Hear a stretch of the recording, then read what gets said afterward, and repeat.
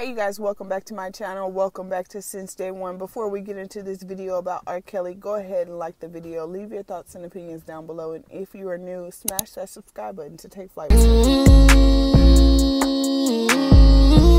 love, I don't need it, you can keep it, a fact. I, I had to make up my mind, my mind. I took that weight on my shoulder. So guys, check this out. The feds are saying that more people could be charged and everything that's going on with R. Kelly right now. A prosecutor has told a federal judge in Chicago that more charges and more defendants could be added in this situation against R&B singer R. Kelly.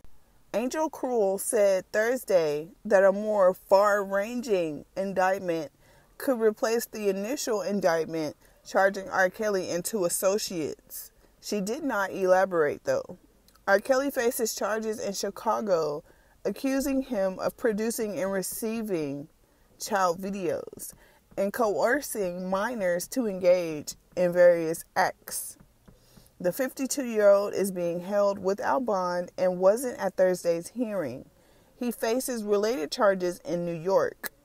Angel also asked for an order protecting evidence and limiting what attorneys can say publicly about the evidence saying R. Kelly's fans have been harassing potential witnesses.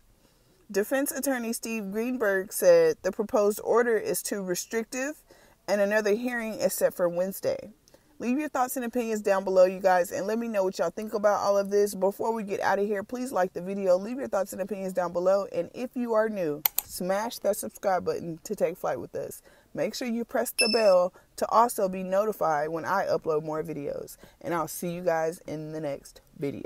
Down for so long, so long, sleeping from sofa to sofa, from sofa to sofa. Now I'ma step on these little bitty bitches in some brand new Gucci low, some Gucci walking. I got tired of eating Big Mama's chicken. Now, now it's business when I walk.